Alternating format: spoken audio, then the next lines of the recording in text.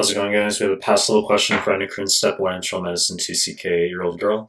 She's brought to the GP by her mom, 12 hour history of deep breathing lethargy, one week history of drinking a lot of water. She has no past medical history.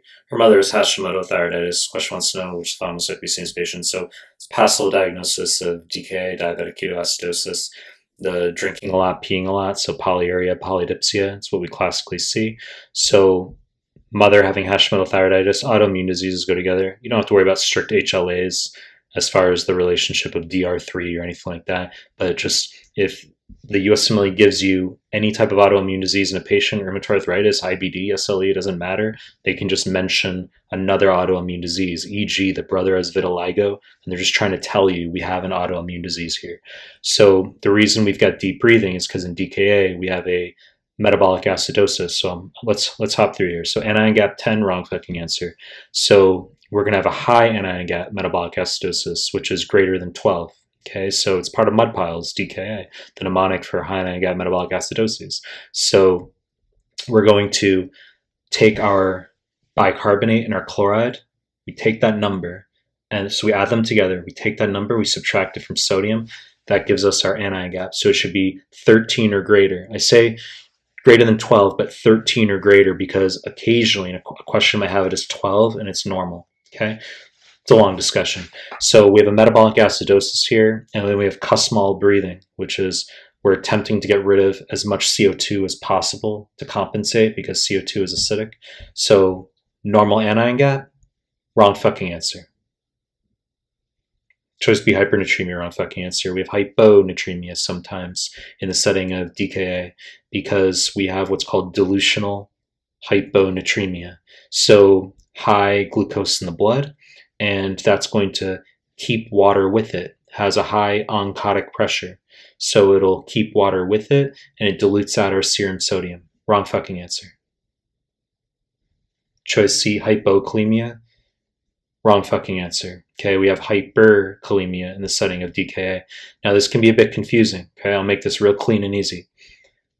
Emia means in the blood.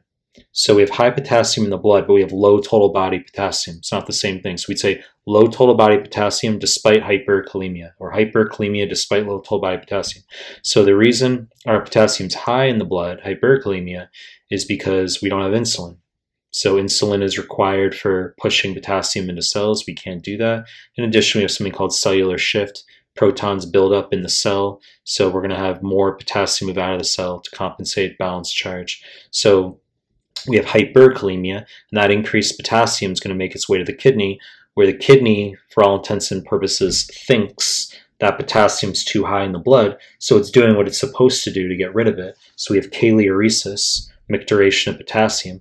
So we constantly lose that potassium that's headed toward the kidney, but it still remains high in the blood from cellular shift and we can't push it into cells. So we have low intracellular potassium, but high in the blood. So overall low total body potassium. Wrong fucking answer. Choice D increased GFR, correct answer. It's a bit of a difficult answer choice for some of you, but it's a pass level question. It's on the NBMEs. You got to know that high glucose in the blood passing through the glomerular basement membrane is going to pull water with it. And one of the initial changes we have with diabetes is increased GFR. Holy shit. Okay, so it's called hyperfiltration. It's the first change that occurs in the kidney with diabetes. First histologic change is going to be thickening of the glomerular basement membrane due, due to non-enzymatic glycosylation. But hyper filtration. Increased GFR is what we're going to see initially, and it sounds a little bit weird because diabetes is the most common cause of chronic renal failure. So eventually, over time, the kidney will fail, and we'll have a decrease in GFR, a diminution of GFR, but initially it's high. So let's just whip to the final one here. Reduction of beta hydroxybutyrate, wrong fucking answer. It's a ketone body, so we would have increased ketones in the setting of DKA, okay, because we're going to be gluconeogenic, ketogenic. So we're going to be trying to produce energy because we're not able to utilize glucose. So I'm not using this ketone body to be fancy here. I've seen this show up on USMLE in arrow questions actually. Okay, so you'd select, for instance, up arrow, serum potassium, hyperkalemia, down arrow, total body potassium. You'd select up arrow, beta hydroxybutyrate. In this case, wrong fucking answer. You know the deal. I'm going to make more content. If you like my stuff, subscribe my channel. I appreciate your time. That's it.